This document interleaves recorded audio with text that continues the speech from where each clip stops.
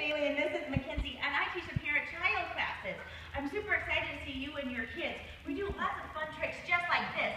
A forward roll, are you ready? Yay! We can't wait to see you guys in classes with us. I have a degree in elementary education I've been teaching for the last five years, and I can't wait to see you guys. We'll see you guys soon. Bye-bye.